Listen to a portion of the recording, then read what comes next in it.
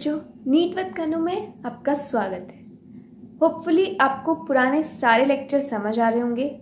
हम सेल के almost ending पर हैं। और मैं ये उम्मीद करती हूँ कि आपको एक एक टॉपिक क्लियरली समझ आ रहा होगा, आपको कॉन्सेप्ट समझ आ रहे होंगे और आपके क्वेश्चन सारे के सारे लग रहे होंगे। अभी तक अगर किसी भी चीज़ में आपको दिक्कत है, कोई भी चीज़ ऐसी जो आपको नहीं समझ आई है, या आपने कोई भी लेक्चर मिस कर दिया है तो आप पीछे जाके देख सकते हैं। कमेंट्स में मुझे बता सकते हैं और टेलीग्राम, इंस्टाग्राम पर मुझे ज्वाइन कर सकते हैं। आगे हम आज क्या देखने वाले हैं? आगे हम देखने वाले हैं आज। ये हमने देख लिया था। हम देखने वाले हैं साइटोस्केलेटन हम आज का लेक्चर अपना शुरू कर रहे हैं साइटोस्केलेटन से। हमने अभी तक क्या क्या देख लिया है? सेल थ्योरी देख ली है। ओवरव्यू देख लिया है, प्रोकैरियोटिक, यूकैरियोटिक सेल देख लिए हैं, सेल वॉल देख ली है, सेल मेम्ब्रेन देख ली है, राइबोसोम देख लिया है, माइटोकॉन्ड्रिया, वेक्यूल, प्लास्टिड, ठीक है? अभी हम किससे शुरू करें? साइटोस्केलेटन। आ जाओ फिर, साइटोस्केलेटन से शुरू करते हैं।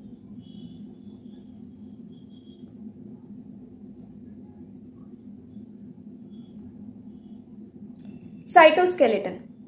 साइटोस्केलेटन का मतलब क्या होगा? स्केलेटन का मतलब होता है फ्रेमवर्क। जो भी सेल को एक फ्रेमवर्क प्रोवाइड कर रहा है, वो बोलते हैं हम साइटोस्केलेटल साइटोस्केलेटल सिस्टम वो पार्ट जो एक सेल को फ्रेमवर्क प्रोवाइड करेंगे शेप प्रोवाइड करेंगे, वो सब किसके अंडर आते हैं? साइटोस्केलेटल के अंडर क्या होगा ये? साइटोस्केलेटन क्या रहेगा? ये है एक फ्रेमवर्क फ्रेमवर्क ऑफ़ सेल कैसा framework structural framework structural framework of cell दिख रहा होगा elaborate an elaborate network of filamentous proteinaceous structure consist of microtubule microfilament and intermediate filaments किस किस से बना हुआ है ये? पहली बात तो ये फिलामेंटिशियस है। फिलामेंटिशियस मतलब फिलामेंट लाइक स्ट्रक्चर से बना है। दूसरा प्रोटीनिशियस है। फिलामेंट प्रोटीन से बना है। वो फिलामेंट प्रोटीन किस किस फॉर्म में हो सकते हैं? Microtubules, microfilament intermediate filament. That means कि इन्होंने क्या बताया है? कि जो हमारा साइटोस्केलेटल सिस्टम है, वो तीन पार्ट में डिवाइडेड है, तीन चीज़ें उसमें होती हैं। देखते हैं क्या क्या चीज़ें प्रेजेंट होती हैं। आओ, देखते हैं हम साइटोस्केलेटन के बारे में। साइटोस्केलेटन साइटोस्केलेटन किस किस, क्या क्या इसमें प्रेजेंट होता है? सबसे पहले माइक्रोटिब्यूल। माइक्रोटिब्यूल, फिर माइक्रो फिलामेंट माइक्रोटिब्यूल, माइक्रोफिलामेंट, इसके अलावा आपके पास क्या होता है इसमें? Intermediate filament. माइक्रोटिब्यूल किस प्रोटीन का बना है? माइक्रोटिब्यूल बना है आपका ट्यूबुलिन प्रोटीन से। किससे? ट्यूबुलिन प्रोटीन से। तो माइक्रोफिलामेंट किससे बना है? माइक्रोफिलामेंट बना है आपका एक्टिन प्रोटीन से। किससे? एक्टिन प्रोटीन से। जो इंटरमीडिएट फिलामेंट होता है, ये इन दोनों के बीच में प्रेजेंट होता है। इन दोनों फिलामेंट के बीच में जो प्रेजेंट होता है फिलामेंट उसे हम बोलते हैं इंटरमीडिएट फिलामेंट ठीक है? माइक्रोटिब्यूल का साइज़ कितना रहेगा? 25 नैनोमीटर माइक्रोफिलामेंट का साइज़ कितना रहेगा आपका? ये रहेगा आपका six two seven nanometer intermediate filament जब इन दोनों के बीच का रहेगा कुछ तो क्या रहेगा इसका size eight to twelve nanometer eight to twelve nanometer जो माइक्रोटिब्यूल होते हैं, ये होते हैं थिक इन साइज़ ये थिक होते हैं, ये थिन होते हैं कंपेरेटिवली माइक्रोटिब्यूल ही सीलिया एंड फ्लैजिला बनाते हैं. सीलिया और फ्लैजिला की फॉर्मेशन होती है, कहाँ से होगी पता रखना है, किससे? माइक्रोटिब्यूल से. माइक्रोट्यूब्यूल किससे बने? ट्यूबुलिन प्रोटीन से। इसका मतलब सीलिया और फ्लेजिला किससे बने हमारे? ट्यूबुलिन प्रोटीन से। ठीक है? आते हैं हम माइक्रोफिलामेंट पे। माइक्रोफिलामेंट थिन होते हैं और कहाँ पे पाए जाते हैं मसल्स में। कहाँ पे पाए जाते हैं? मसल्स में। अब इनके फ़ंक्शंस की बात करते हैं। माइक्रोट्यूब्यूल का क्या फ़ंक्शन रहेगा? ये प्रोवाइड करता है सेल शेप की maintenance cell cell shape maintenance दूसरा फ़ंक्शन होता है इसका सेल मोटिलिटी के लिए। सेल मोटिलिटी के लिए। ठीक है? उसके बाद इसका होता है क्रोमोजोम मूवमेंट के लिए। क्रोमोजोम मूवमेंट जितना भी सेल में क्रोमोजोमल मूवमेंट होता है, वो सब कौन देखता है? माइक्रोट्यूब्यूल ठीक है? उसके बाद इसमें spindle spindle fiber formation spindle fiber formation भी कौन देखता है आपका? माइक्रोट्यूब्यूल और इसके अलावा, इसका जो फ़ंक्शन होता है, वो होता है ऑर्गनली ऑर्गनली मूवमेंट कोई भी ऑर्गनली कहा मूव करी है, वो सब कौन देखता है आपका? माइक्रोट्यूब्यूल ठीक है? अब आते हैं माइक्रोफिलामेंट के पास. माइक्रोफिलामेंट का क्या फ़ंक्शन होगा? याद रखना, ये जो तीनों ही फिलामेंट है इनका जो कॉमन फ़ंक्शन होता है, वो होता है मेंटेनेंस ऑफ़ सेल शेप तीनों ही सेल शेप को मेंटेन करने के काम आते हैं। तो इसका भी पहला फ़ंक्शन तो सेम ही रहेगा मेंटेनेंस ऑफ़ सेल शेप ठीक है? उसके बाद दूसरा इसका आता है change in shape change in cell shape किसी भी टाइप का चेंजेस आएगा सेल में, उसकी शेप में, किसकी वजह से आएगा? माइक्रोफिलामेंट की वजह से। और सेल मोटिलिटी में। सेल मोटिलिटी में हेल्प करता है। अब आते हैं हम इंटरमीडिएट फिलामेंट इंटरमीडिएट फिलामेंट क्या कहेगा? मैंने क्या बताया? अभी तीनों ही क्या करेंगे? मेंटेनेंस ऑफ़ सेल शेप तो maintenance of cell shape maintenance of cell shape के अलावा ये क्या कहेगा? ये बीच में प्रेजेंट होता है। ये दोनों चीज़ को होल्ड करने का काम करता है। बीच में क्या होता है? न्यूक्लियस तो ये क्या करेगा? आपका एंकर ऑफ़ न्यूक्लियस ये हो गए इसके सारे आपके फ़ंक्शन माइक्रोफिलाेंट माइक्रोट्यूब्यूल और इंटरमीडिएट फिलामेंट अब हम देखते हैं एनसीईआरटी क्या लिखती है हमारे पास। एनसीईआरटी क्या लिखती है हमारे पास? An elaborate network of filamentous proteinaceous structure consisting of microtubules microfilaments and intermediate filaments present in cytoplasm is collectively referred to as cytoskeleton. The cytoskeleton is in a cell are involved in many functions such as mechanical support, motility, maintenance of shape of the cell. ये हमने तीनों के अलग अलग function देख लिए हैं cytoskeleton के बाद हम आते हैं सीलिया एंड फ्लेजिला पर किस पर आते हैं सीलिया और फ्लेजिला पर पहली बात तो ये सेल मेम्ब्रेन की हेयर लाइक ग्रोथ होते हैं। Hair like envelope growth membranous growth ये मेम्ब्रेनस ऑर्गनली नहीं है। ये ग्रोथ है सेल मेम्ब्रेन की। ठीक है? Cilia and flagella are hair like outgrowth of cell membrane मतलब कि इनके पास क्या है? प्लाज्मा मेम्ब्रेन है। दे हैव प्लाज्मा मेम्ब्रेन ठीक है? दूसरी बात, जो सीलिया होंगे, सीलिया बहुत सारे एक बैक्टीरिया में कहीं सारे, एक सेल में कहीं सारे सीलिया हो सकते हैं। मेनी मेनी नंबर लेकिन फ्लेजिला एक या दो। कितने फ्लेजिला होते हैं? एक या दो डिपेंडिंग कि कौन सा सेल है। ठीक है? इसके अलावा, जो सीलिया है, सीलिया ऐसे ऐसे। और जो चप्पू चलाते हैं ना, ऐसे ऐसे, चप्पू चलाने जैसा काम करता है। फ्लैजिला ऐसे विप लाइक मूवमेंट ऐसे ऐसे ऐसे ऐसे ऐसे ऐसे ऐसे ऐसे। ऐसे वाला मूवमेंट करता है। उसके बाद, जो सीलिया है, सीलिया क्या करता है? ओवरऑल जो सेल के अंदर मटेरियल है, ऐसे से करें ना, उसकी मूवमेंट करा रहा है, उस पूरे मटेरियल की। फ्लैजिला ऐसे ऐसे, ज़्यादा एनर्जी के साथ, लंबा है, ज़्यादा एनर्जी के साथ मूव कर रहा है। तो पूरे सेल की मूवमेंट करा रहा है। ओवरऑल जितना सेल है, उसकी मूवमेंट करा रहा है। ठीक है? सीलिया और फ्लेजिला में अंदर समझ आ गए?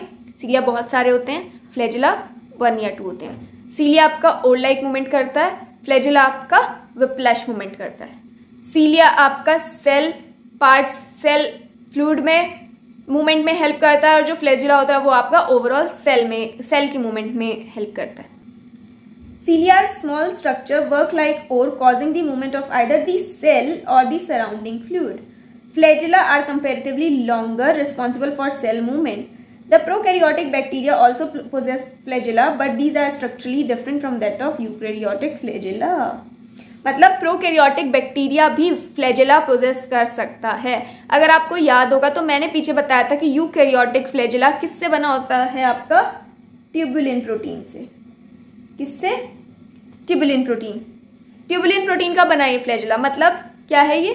माइक्रोटिब्यूल किसका है ये पार्ट माइक्रो टिब्यूल जो आपका प्रोकैरियोटिक फ्लैजेला है, वो किस प्रोटीन से बना है आपका? फ्लेजिलिन प्रोटीन किससे? फ्लेजिलिन प्रोटीन चलो। The electron microscope study of cilia और flagella show that they are covered with plasma membrane जब वो प्लाज्मा मेम्ब्रेन की ही आउटग्रोथ है तो मतलब प्लाज्मा मेम्ब्रेन से ही कवर्ड होंगी। ये हमें माइक्रोस्कोप में पता चला।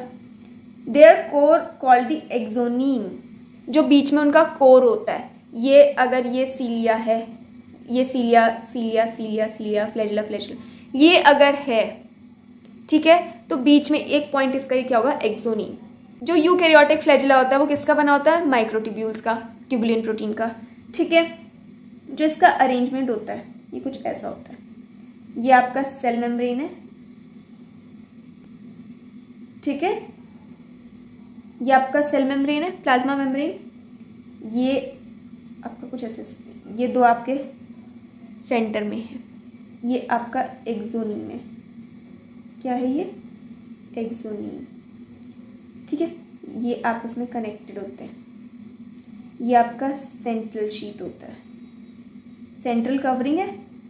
सेंट्रल पार्ट को कवर कर रहा है तो इसका नाम क्या हो जाएगा? सेंट्रल शीत साइड में एक, दो, तीन, चार, पाँच छ सात, आठ, नौ नौ स्पोक्स होते हैं। ठीक है? जिन्हें हम कहते हैं रेडियल स्पोक्स क्या कहते हैं हम? रेडियल स्पोक्स इनसे अटैच होते हैं डबलेट में आपके माइक्रोटिब्यूल्स ऐसे। ये माइक्रोट्यूब्यूल्स हैं, जो आपके बाहर की तरफ़ हैं। ये हो जाएँगे पेरिफेरल माइक्रोटिब्यूल्स ये बाहर की तरफ़ है ना? हो जाएँगे पेरिफेरल माइक्रोटिब्यूल्स माइक्रोटिब्यूल्स जो ये आपके अंदर की तरफ़ है। ये ये हो जाएँगे सेंट्रल माइक्रोटिब्यूल सेंट्रल माइक्रोटिब्यूल ये जो एक माइक्रोटिब्यूल है, दूसरे से ऐसे जुड़ा हुआ होता है. ये ये. ये जो ये जुड़ना है, इस पार्ट को क्या कहते हैं इंटर डबलेट ब्रिज दो डबलेट के बीच में ब्रिज बना है ना तो ये क्या हो जाएगा? इंटर डबलेट ब्रिज ठीक है? चलो, ये आपको देख लिया आपने माइक्रोटिब्यूल का स्ट्रक्चर ये आपके इंटरनल स्ट्रक्चर है आपका, किसका? सीलिया का। अच्छा ये फ्लैजिला है, इसको ऐसे काट देंगे। तो इसका ऐसे वाला स्ट्रक्चर है, यहाँ वाला। ये ये स्ट्रक्चर ऐसे शो हो रहा है। ठीक है? चलो। a number of microtubules running parallel to the longer axis. The axoneme usually have nine doublets. Of radially arranged peripheral microtubules and pair of centrally located microtubules मतलब क्या अरेंजमेंट इसका? नाइन तो बाहर है, दो अंदर है नाइन प्लस टू अरेंजमेंट है। आपके सीलिया फ्लेजिला में माइक्रोटिब्यूल्स का अरेंजमेंट कैसा है? Nine plus two such an arrangement of axonemal microtubules is refer to as nine plus two array the central tubules are connected by bridge and is also enclose by central sheet which is connected to one of the tubule of each peripheral doublet by a radial spoke These are nine radial spokes. The peripheral doublets are also interconnected by linkers. The cilia and flagella emerge from centriole like structure called basal body जो आपका ये, ये important line है। कौन सी? ये। ये। इससे question आया था। जितना भी सीलिया और फ्लैजुला है उसका ओरिजिन कैसे है? उसका ओरिजिन है basal body centriole like basal body centriole की जैसा ही एक स्ट्रक्चर होता है बेसल बॉडी होती है जो कि क्या बनाता है आपका सीलिया और फ्लैजुला इस बेसल बॉडी का जो अरेंजमेंट होता है वो होता है nine plus zero. Nine plus zero array होता है। बेसल बॉडी का नाइन प्लस ज़ीरो, इससे उत्पन्न हो रहा है। क्या उत्पन्न हो रहा है? सीलिया फ्लैजुला उसका रहेगा नाइन प्लस टू। इसी के साथ आपका ये वाला पोर्शन खत्म हो रहा है। ठीक है? जो आपका सेंट्रियोल है। कहा गया। सेंट्रियोल लाइक स्ट्रक्चर से तो उत्पन्न हो रहा है ये सीलिया सीलिया और फ्लेजुला के पास प्लाज्मा मेम्ब्रेन होती है बट ये जो सेंट्रियोल होता है सेंट्रियोल के पास प्लाज्मा मेम्ब्रेन नहीं होती है. Centriole is not covered by plasma membrane आप लिख सकते हैं. Centriole is not covered by plasma membrane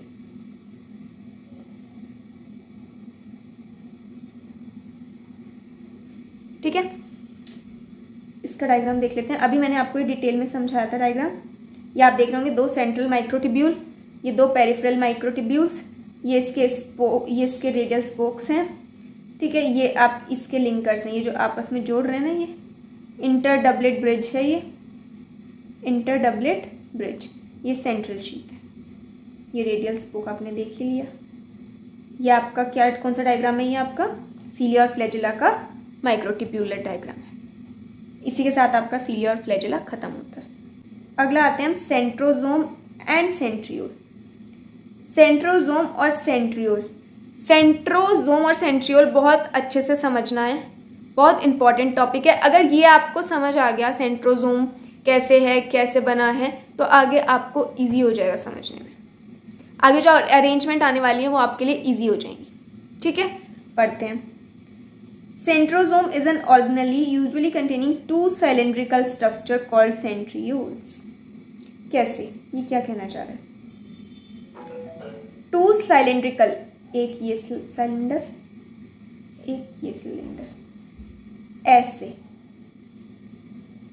दो साइलेंड्रिकल स्ट्रक्चर जिन्हें हम क्या बोल रहे हैं? सेंट्रियोल क्या बना रहे हैं दोनों मिलके?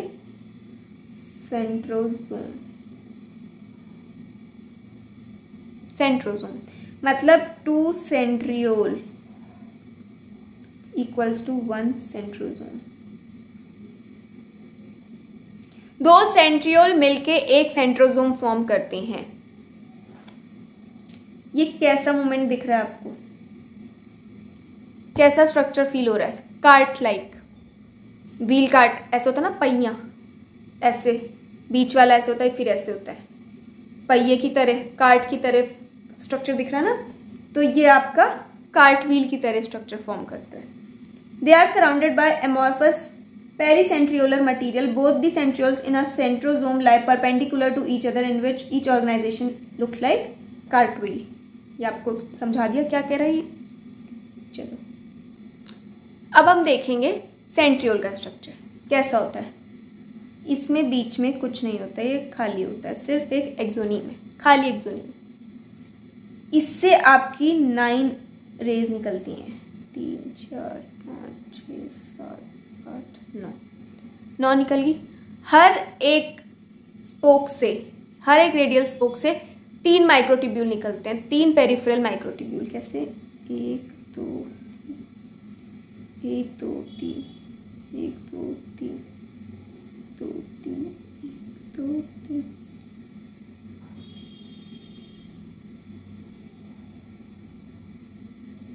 ये है आपकी microtubule peripheral microtubule A B C A B C A B C ऐसे सारे में होगा? इस वाले का सी इधर वाले के ए से ज्वाइन होगा, इस वाले का सी इधर वाले के ए से, इस वाले का सी इधर वाले के ए से। ऐसे ये सारे ज्वाइन होते रहेंगे। तो इनको क्या बोलेंगे? एसी लिंकर्स क्या बोलेंगे? एसी लिंकर्स ये आपका क्या है? सेंट्रल माइक्रोटिब्यूल माइक्रोटिब्यूल ये क्या है आपका? पेरिफेरल पेरिफेरल माइक्रोटिब्यूल ठीक है? आपका ये हो गया सी ए लिंकर्स सॉरी ये मैंने गलत कर दिया है। ये क्या होगा? सी ए लिंकर सी से ए ज्वाइन हो रहा है ना तो सी ए लिंकर ए सी गर्मी की वजह से ना, मेरे को ए सी याद आ रहा है. सी ए लिंकर्स ठीक है? ये आपको दिख रहा है कार्ट व्हील लाइक स्ट्रक्चर ये है आपका सेंट्रोजोम का स्ट्रक्चर ये सेंट्रोजोम का स्ट्रक्चर हो गया. इससे क्या है?